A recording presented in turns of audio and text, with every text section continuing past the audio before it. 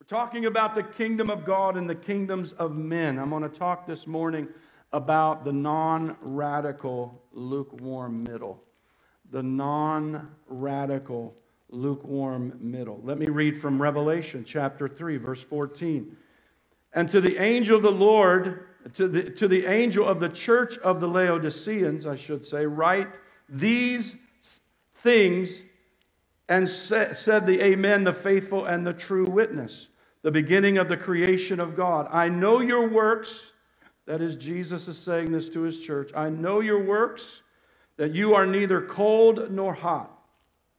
I could wish that you were cold or hot. So then, because you are lukewarm, neither cold nor hot, I will vomit you out of my mouth. Now, that's not a good place to be with the Lord, I would say. Not a good place. Because you say, I am rich, have become wealthy, and have need of nothing, and do not know that you are wretched, miserable, poor, blind, and naked. I counsel you, he says, to buy from me gold refined in the fire, that you may be rich, and white garments, that you may be clothed, that the shame of your nakedness may not be revealed, and anoint your eyes with eye salve, that you may see. And as many as I love, I rebuke and chasten. Therefore, be zealous and repent. Behold, I stand at the door and knock. Isn't this interesting in this hour? Because a lot of people think that that's standing at the door of your heart. And it could mean that. But he's literally standing at the door of the church of Laodicea. Isn't it interesting that a lot of our churches are closed? Our church buildings, people can't gather to worship. And the Lord, is the Lord knocking on some church doors today? I wonder. I wonder. I wonder. I've never seen a time like this before. I've never seen a time like this. I've been serving the Lord for 30 some years now. never have I seen a time like this. None of us have ever seen a time like this. It's an unprecedented time. People don't understand it, they can't explain it. There's so much fear. Even in the body of Christ, there's so much fear so much lying, so much misunderstanding. But I'm going to teach you some things about the kingdom of God and where you sit with Christ. I want you to fully understand what God is saying in this hour so that you don't get confused. He says, Therefore, be zealous and repent. Behold, I stand at the door and knock. If anyone hears my voice and opens the door, I will come in into him and dine with him, and he with me. To him who overcomes, I will grant to sit with me on my throne. Somebody say amen. amen. Now, is that in the is that in the by and by when we're in heaven, or is that now? That's now. Ephesians chapter 2 tells us that we are already seated with Christ together in heavenly places. We're seated with Christ. So all it means is that you're overcoming, that you have overcome that you have overcome through the blood of Jesus. You have overcome through your testimony. You have overcome. And you have believed on the Lord Jesus Christ with all of your heart. That's how you overcome. There's no other way. As I have overcome and sat down with my Father on his throne, he who has an ear to hear, let him hear what the Spirit says to the churches. Father, thank you for your word today. I thank you, Holy Spirit, that you are opening our understanding, helping us discern the times and the seasons, giving us wisdom, giving us understanding and knowledge that we might help others, Lord, that we might help others who are struggling, who are hurting, who do not understand, and some who are confused, some, Lord, who don't even care anymore. God, we are here to help them all. We give you thanks in Jesus' name. Amen. Turn me down a little bit more in the monitors, Curtis, if you would. So, you have a choice. You have a choice. And you can sit with the conformists and the lukewarm. Go ahead and change that slide. This is what Curtis brought up last week, and I'm just kind of reminding you of it. That is the church of the lukewarm middle right there. That is the church. That is the Laodicean church. They're just caught up in the winds of this world, the doctrines of this world. They are compromising the Word of God, unfortunately. And we see it. We see it. They don't even know what morality is. They don't even know what biblical marriage is. They don't even understand what, what life is all about. I believe that people who don't understand the right to life shouldn't even govern. They don't even have a right to govern in our nation. And so the lukewarm middle has nothing to say about controversial things like what you're seeing here. They don't understand that we're not Republican or Democrat.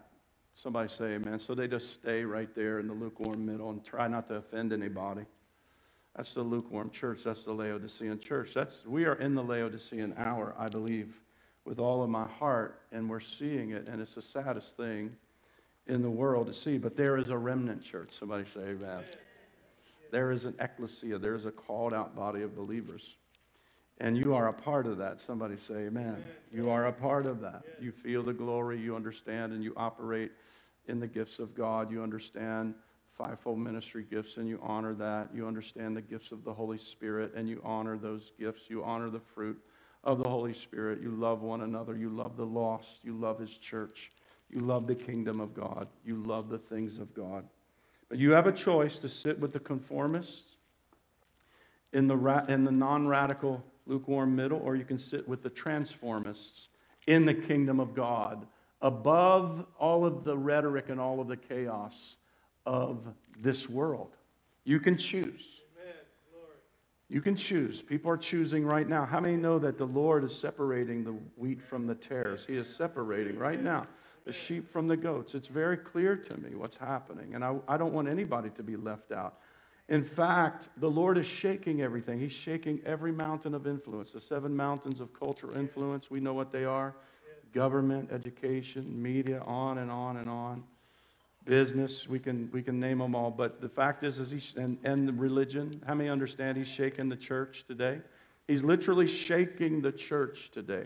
And those people that were serving God on the front end of this pandemic, on the front end of this, this shutdown, on the front end of all of this. They were serving the Lord. This is a Barna Research, by the way. Barna, Re- how many know who Barna is? Barna Research. They do surveys on the church. They find out what's happening in the church. They find out what's, what's happening with Christians and how they're feeling about God or what they believe. And I shared this on Wednesday night. I saw this article. You can go and you can find it on barna.com, talking about how before the COVID lockdown and before all of this pandemic fear started gripping people, Christians prior to this shutdown and the pandemic were serving God. And it gave, it's a survey that one third of those people, even now during the pandemic, don't even watch online, don't even go to church, and they're really not even doing devotions at all. They've just totally fallen away. Now, I don't know if you know anybody like that, but you really need to go after them and tell them, look, this is not the time to backslide. This is not the time to be lukewarm. This is not the time to cower in fear and operate from a perspective that isn't kingdom. Instead, just run with every wind of doctrine and every failed attempt of the enemy to cause you to conform. You cannot conform. Somebody say amen. the kingdom of God is here. We see in Acts 2, and I've shared this before, and I still want you to stay right there. Acts 2:17 says that God is pouring out his spirit upon all flesh. Somebody say amen. In this hour right now, he said in the last days I will pour out my spirit upon all flesh. So we don't have an excuse to get, be lukewarm. We really have to choose it to be lukewarm. Or we can be red hot. Somebody say amen. We can be on fire for God because we sit in the kingdom. We don't have to fear anything. We don't have to operate out of fear or anxiety, anything like that. but we operate in the power of God. And you have to understand where you're seated. You have to make that your reality. Your reality is not in the lukewarm middle. Your, your reality is not Fox News. Your reality is not the Democrat Party. Your reality is not what Nancy Pelosi says or even what President Trump says. Your reality is what God says. I'm about ready to speak in tongues. I'm going to run. Hallelujah. Come on. Your reality is what God says. And we, I'm going to teach you some things this morning about where you sit and what your position is and what your assignment is. Because it is not to allow the world to creep in, not now, not in this moment, not ever. Now is the time to turn up the barometer, to turn up the fire of God, to turn up the zeal. To rebuke the enemy, to give God praise constantly. Acts chapter 2, he's pouring out his spirit upon all flesh. But at the same time, there is gross darkness, it says, and there's a great falling away. Paul told us about the great falling away. I preached on it on Wednesday night. But let me read you this scripture. It's very interesting to me. Second Thessalonians 2 1 through 4 says this now, brethren, concerning the coming of the Lord Jesus and our gathering together, to him we ask that you not be soon shaken or troubled in mind, either by spirit or by word or by letter. Somebody say amen. Don't be what? Shaken, nor what? Troubled. Because that's what the lukewarm middle does. Or they just give up and they just hide. But here's what he says Let no one deceive you by any means, for that day will not come unless the falling away comes first. What comes first? What day is he talking about? The day of the Lord. In just three short months, one third of Christians who were practicing Christians Perhaps they were serving the Lord. Perhaps they were walking with God. I don't know, but one third in America, at least during the survey that, that George Barna uh, took of the church, a sample size of the church, one third. And guess what? He was saying those who even watch online are going to church. That's how easy it is to go to church today. To stay connected is what he said. You got to stay connected to God. You got to stay connected to the things of God. You got to stay connected in your heart. Not out of religious duty, but out of your heart. Your love for Jesus, your love for His church, your love for His work, your, your love for His kingdom. Now's not the time for your love to grow cold and your heart to wax dull before God. Come on, somebody. What comes first? The falling away. So, is, is, this the falling away? I don't know. Is it the beginning of it? I don't know. I can't discern it. But I know one thing it's going to happen first before Jesus comes. And it may happen very rapidly, like we're seeing it happen. And he says, in that man of sin, we know who that is the Antichrist, the son of perdition who opposes and exalts himself above all that is called God, all that is called God. So when you say that's God, thank you, God, he opposes that. Is there opposition? Is there a spirit of antichrist in this world? Is anybody anybody anybody seeing that happen? Spirit of antichrist? How many know we crush that under our feet? Oh, hallelujah. Christians aren't to cower in fear and unbelief anxieties. Doesn't matter what's happening. Come on. So that he sits as God in the temple of God, showing himself that he is God. Whoa, that's going to be an incredible day, isn't it? Guess what? we're going to be raptured. Hallelujah. We won't see it. How do I know that? Because I, if you look at the book of Revelation, chapter 6 and 7, you'll see the church in Revelation chapter 7, verses 9 and 10, waving palm branches. Before it all goes down, somebody shout, Amen. amen. There we are in the marriage supper of the Lamb. The prophet Isaiah saw our day as well. Listen, he says, he says in Isaiah 60, verses 1 through 6, he says of the church, this is the church in the latter days, arise and shine, for your light has come, and the glory of the Lord is risen upon you. Behold, the darkness shall cover the earth, deep darkness the people, but the glory of the Lord will rise upon you. His glory will be seen upon you. Gentiles shall come to your light. Jesus said, You are the light of the world. Did you know that? It's just not Him, it's you. Shine. Just like our dear sister said, shine. Tell everybody. Go tell it on the mountain. Don't hide Go share it with everybody. The Gentiles shall come to your light, kings to the brightness of your rising. How many know that the church influences nations? We influence nations, kings. Come to the brightness of the rising of the church, not Islam, not the Antichrist. To the church. See, we have this mentality, oh, little old me, I'm insignificant, and we just shrink. We just shrink with all of the insignificant thoughts of ourselves. But you don't understand who you are if that's your thought pattern. You have to understand that when you walk into the room, demons tremble. When you walk into the room, when you kneel, when you pray, when you cast out, when you speak, when you prophesy, the devils tremble and flee. That's who you are. That's who you are. You're not some backslidden, weak, lukewarm middle church. Don't want to get anybody upset. Don't have, don't have, don't talk about the blood in church.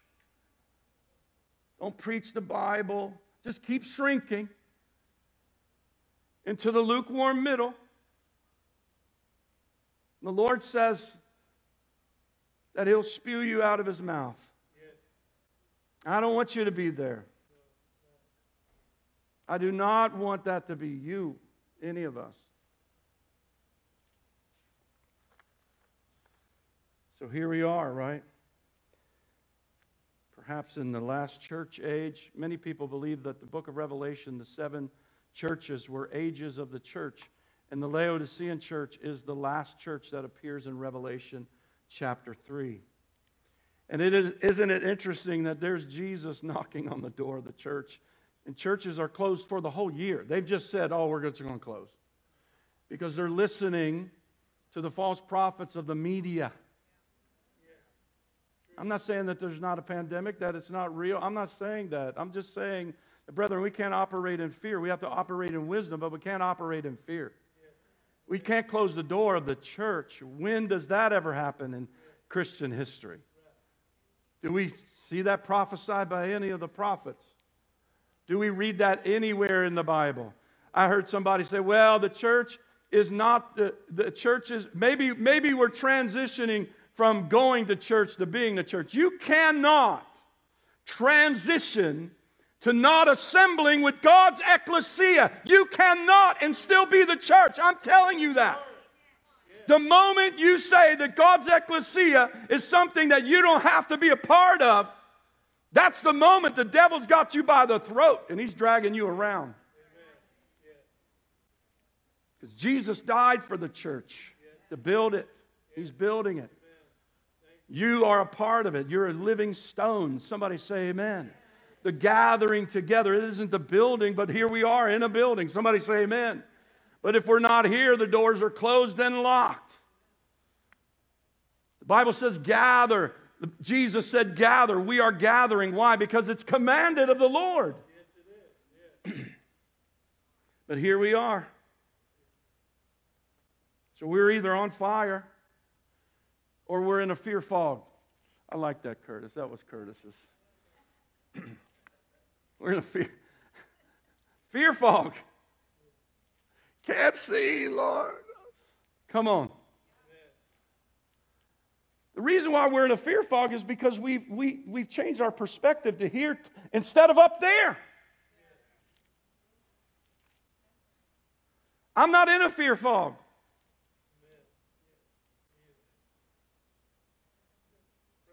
In the kingdom. Come on, Holly. Hallelujah. You're in the kingdom. We're either on fire for God red hot for Christ, reigning in his authority and power, working with his church in the harvest. Somebody say amen. amen. And at rest with Christ in his glory, or you're in a fear fog, tossed with every wind of doctrine, every news break, every political wind and phobia that they can perpetrate on the church. Did you know that the Supreme Court literally, our Supreme Court of the United States of America, has said and upheld a decision of the Arizona Supreme Court that said churches can't assemble with over 50 people in it now. But they'll, uh, they'll let casinos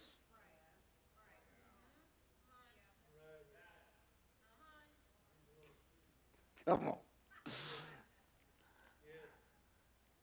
I'm going to tell you the remnant church ain't going to put up with that for five seconds. I'm just going to tell you the remnant church in Arizona, in Nevada, wherever it is, I don't even know where it is. Nevada. Thank you. They're not going to put up with that. They're trying to close churches down in California. Remnant church isn't going to have that. In fact, there's going to get people, that's going to get people red hot. Somebody say amen. You ain't seen red hot until you start messing with the remnant church. See, the remnant church isn't some weak, you know, weak little remnant. I'm just the remnant church. I'm just crawling out, you know, and trying to trying to make it. No, the remnant church is the bride of Christ. It is the glorious bride. You are the glorious bride of Jesus with all of the authority and power that He has, as He's given you the rod. So, guess what? We do. We start going to warfare. Lord, remove every Supreme Court justice that stands against your church in this nation. We wish them no harm. Somebody say amen. Just remove them and let them go fishing somewhere. Shake them and get them out. We got business to do. And let's just say that the Lord delays that. I believe that as the days grow darker, the church is going to grow brighter. And that there's going to be awakening because the remnant church is going to come out of that lukewarm fear fog the institute, many in the institutional church right now. How many know there's a remnant in the institutional church that's as cold and dead they can't even understand what biblical marriage is or biblical morality is? Entire denominations have failed and fallen to the compromise of this age. And I could just go right down the list, and you know what I'm talking about. But there's a remnant coming out. Hallelujah. See, let's assume since you're here today, how many are here? All right. Just checking. That this is the ecclesia of this community. One of the ecclesias of this community. Because the Lord has his church, universal, and he has his churches and communities. Somebody say amen. That's what Life Church is all about. We want to plant life giving, spirit filled churches, apostolic churches in every community. We've planted eight so far. God, give us a thousand. Hallelujah. Give us a thousand men and women who will rise up and do it. But let's assume, since you're here today, you're on fire for God. Is anybody on fire for God? Anybody watching on fire for God? Come on, give me some thumbs up. Give me some hearts. Give me some hearts out there. Somebody give me some thumbs up and smiley faces. Give them to me. I want to see them. All right? All right. Praise God. So, do I have any radical? Go ahead and switch that slide. Do I have any radical non lukewarm, demon stomping, devil spanking, Holy Spirit filled believers in this house who sit with Christ up in the kingdom of God? Hey, somebody! Do I got anybody in here? Do I got anybody? Do I got some people up in here? Do I got some non radical, non lukewarm, I should say, radical Christians who are not afraid to stand up for Jesus? Hey! That's what I'm talking about. I tell you, there ain't a devil within 100 miles of this place right now. You just shook the king. Did you know your shout is a powerful thing? Your praise is a powerful thing. The word of God in your mouth is a powerful thing. You have power with God. You have power to tread upon scorpions and serpents and over all the power of the enemy. That's who you are. Woo! So tell me. I want to share with you real quick and I'll close. I want to tell you about your prophetic assignments. You got two of them. Whew, I like to keep it simple because I lose count after three.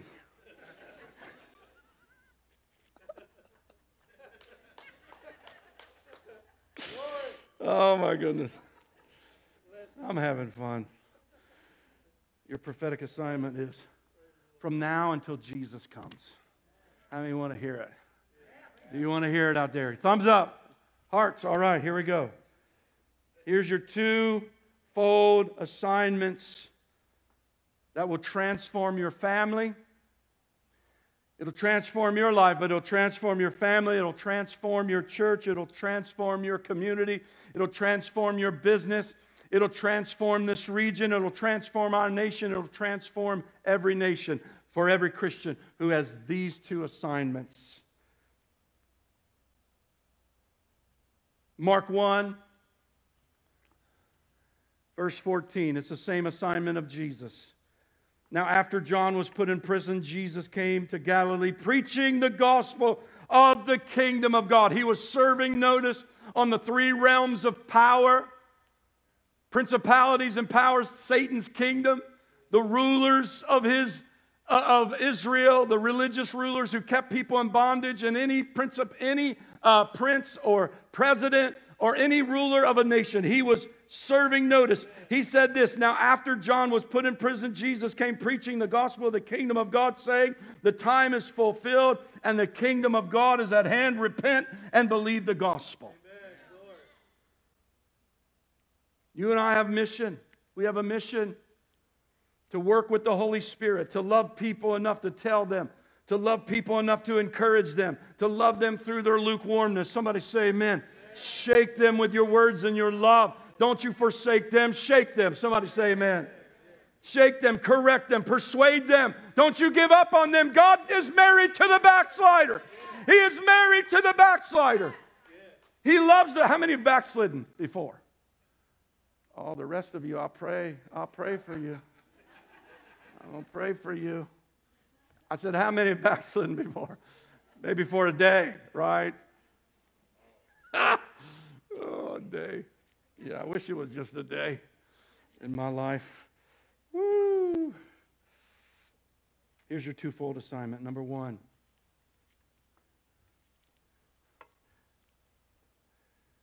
you are all called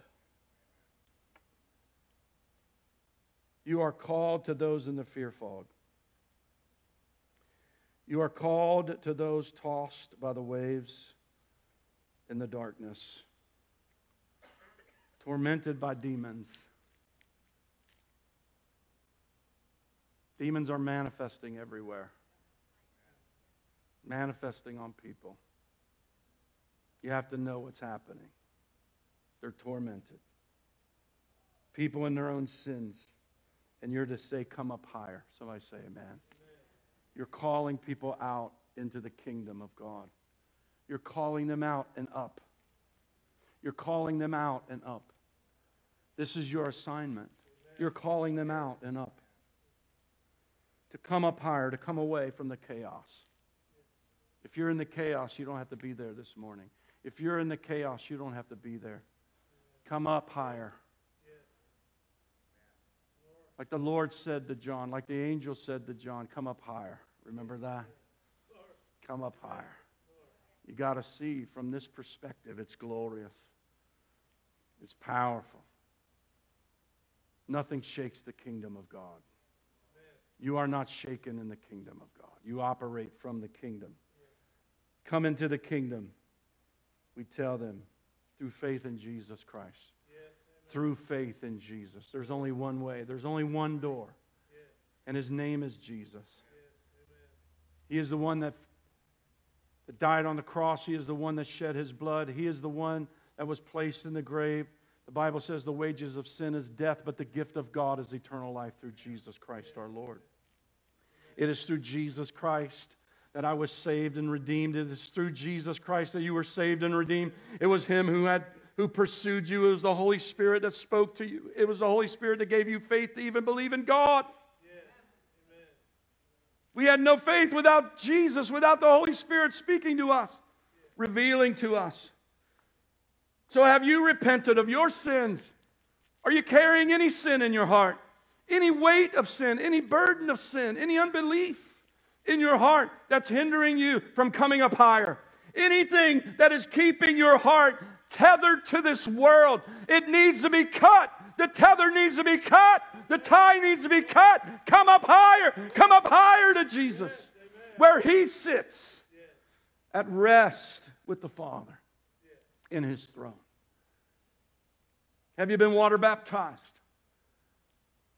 I mean, seriously. Not sprinkled when you're a baby. We honor tradition. We love tradition. Thank goodness for tradition. But that's not what the Bible talks about. The Bible talks about believers' baptism.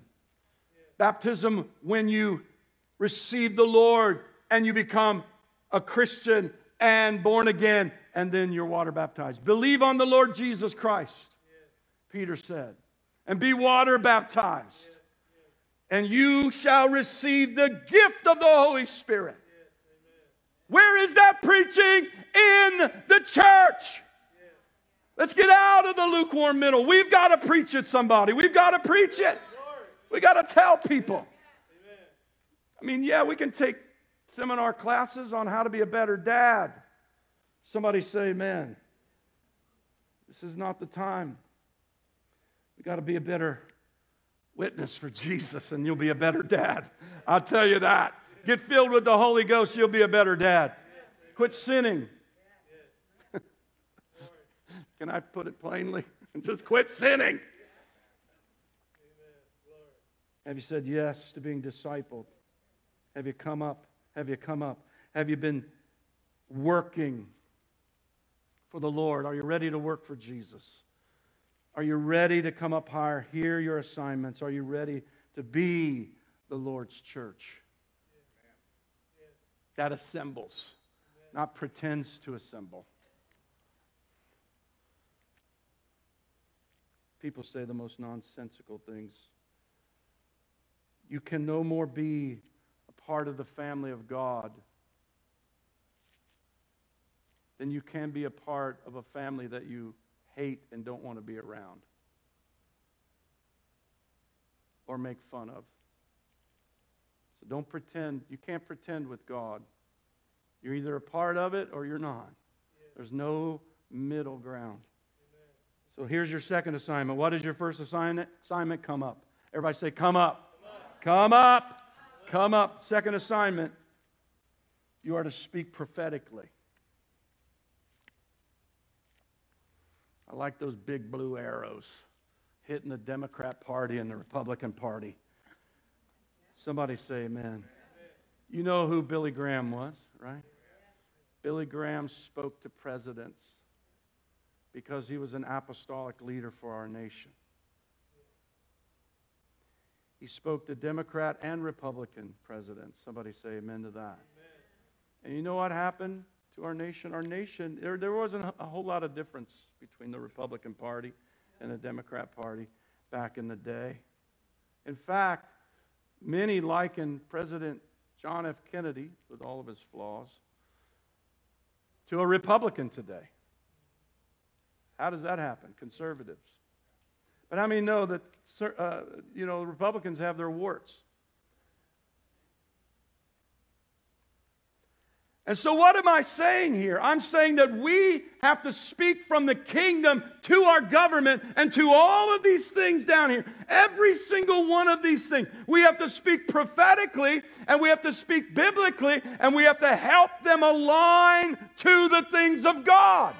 Because the things that take us away from God lead this nation to judgment. It leads people into precarious situations and standing with God. We are our brother's keeper. And we must speak powerfully to this nation and to people. We cannot hold back any longer. So we speak prophetically, lovingly to those in darkness. We speak the gospel of Jesus Christ. We lead with the gospel. Somebody say amen. Why? Because the gospel is the power of God unto salvation to all who believe. To the Jew first and also to the Greek or to the Gentiles. See, the church, the ecclesia, is to be the prophetic voice exposing the things of the devil that's leading people astray. Everything, every single one of these things are not perfect, but we have to speak to it, not hide from it, not placate to it, not bow the knee to it. Somebody shout, Amen. amen. How many know that we are the salt of the earth? We don't cancel culture, we transform cultures. I'm about ready to run right now. I tell you, I feel if I wasn't 60 years old, almost 60, I'd run right now. Just the old Pentecostal in me wants to run. The church, the ecclesia, is the prophetic voice of God. And when we lose our prophetic voice, we lose our salt and our light. We need leaders that are unafraid of all of these things. Bold, strong Christians, fivefold leaders, believers that aren't afraid to be thrown to the lions or in the lion's den. We have to highlight the goodness of God to this world church, the ecclesia, the fivefold leaders are to speak the truth of God's word to those in authority, those in government, those in education. How many know our education system is, ab- I mean, our, our universities just messed up. No wonder God closed them down. These professors who just thumb their nose in the face of God, God will shut you down. It's so sad to see baseball with no people in the stadiums. I wonder what's the, I wonder, listen, I may understand God has rocked arts and entertainment. He's just shaking it. And he's shaking the church too. Shaking business. So we're going to enter these mountains. Somebody say amen. Christians are to enter these mountains. We have elected officials in this church now. Hallelujah. Somebody say amen. We have teachers and educators in this church. We have businessmen and women in this church. Hallelujah. Your assignment is to go and speak not only to your business, not only to your peers, what you know and your expertise, but it is to share the good news of Jesus and pull them out of the flame of darkness. We're to go into the mountains and be the light of Jesus Christ. Come on up here, worship team. Come on. Hallelujah. You are not the non radical, lukewarm middle. You will never be. As long as you're here, you will never be part of the non radical, lukewarm middle. It's not a pleasant subject to talk about because it seems like I'm talking about my, my brethren but I'm not.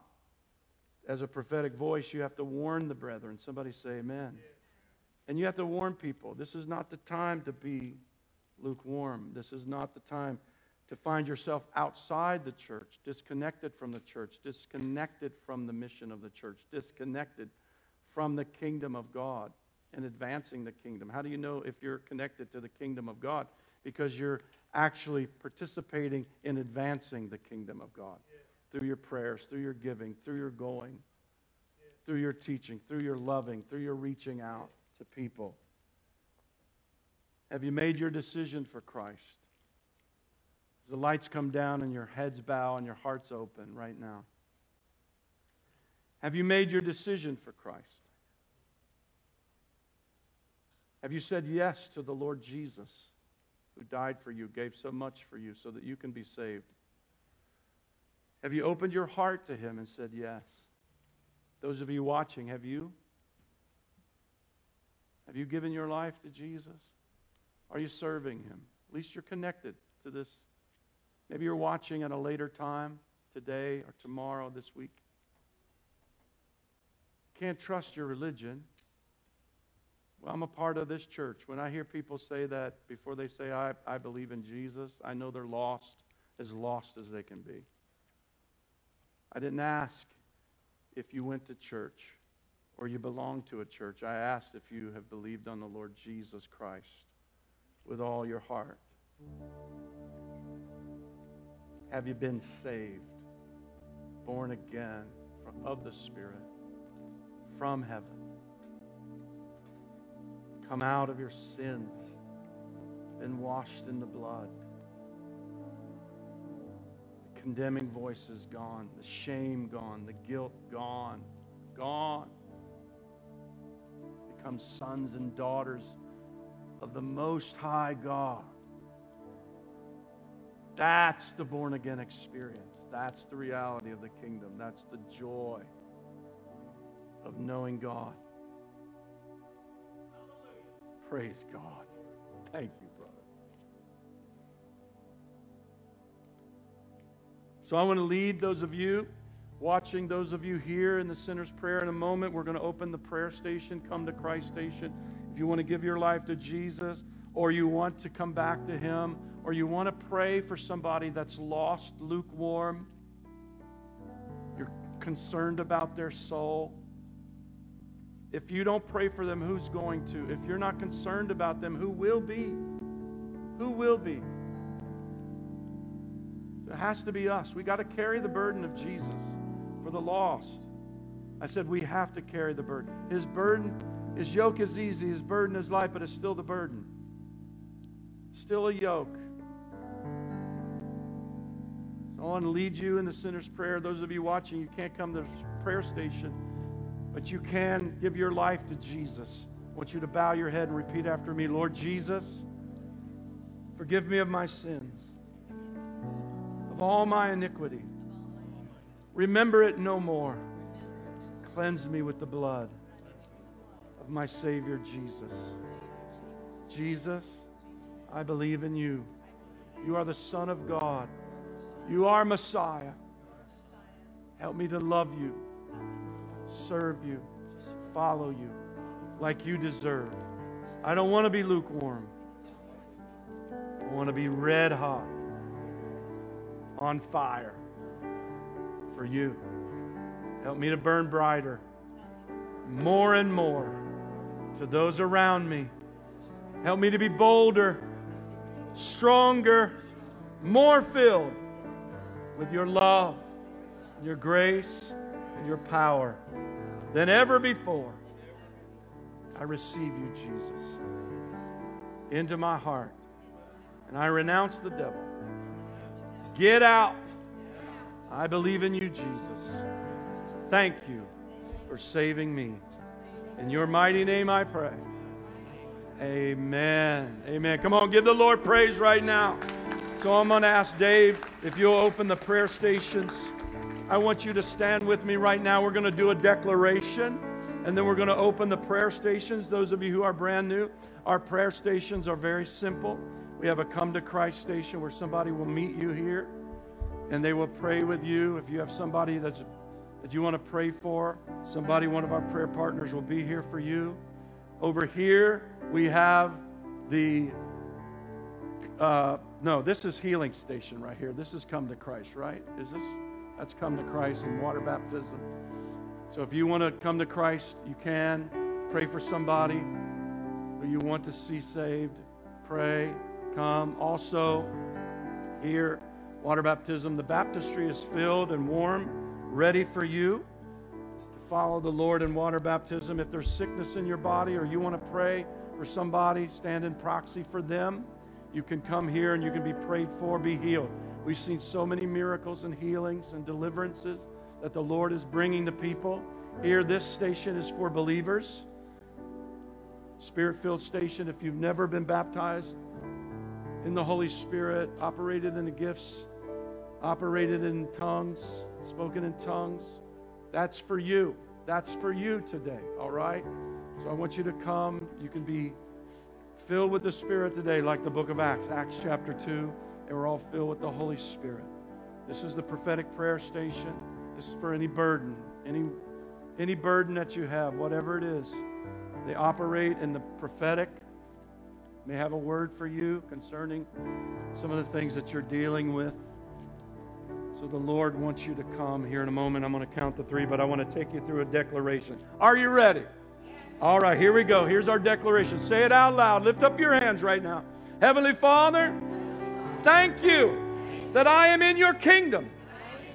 Thank you that I rest with Christ and I have his power. Thank you that the devil is under my feet. I will not fear what the world fears. I will not allow false teachers to influence me or to take my peace. I will hear your spirit. I will walk in your word. I will abide in your house. I will love your people. And I will reach the lost. In Jesus' mighty name, I pray. Amen. Give the Lord praise right now. Hallelujah.